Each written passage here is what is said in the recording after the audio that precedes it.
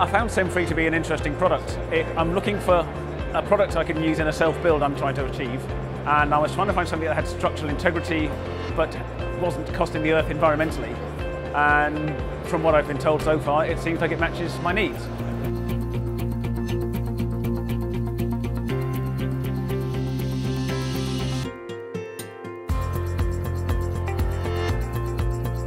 Well, the whole exhibition has been really quite uh, interesting. I'm delighted with the caliber of the people who've come onto our stand, the, the level, you know, managing directors and heads of departments and um, people from Saudi Arabia, from Ukraine, uh, from France, uh, you know, major individuals who want to know about the technology space, and it seems to be working extremely well. So thank you. And the key here will be how we follow up those contacts and conversations and turn them into projects and contracts. So it's been a great experience and I love the stand. I think it's been well designed, it's very user friendly, it has a welcoming feel about it.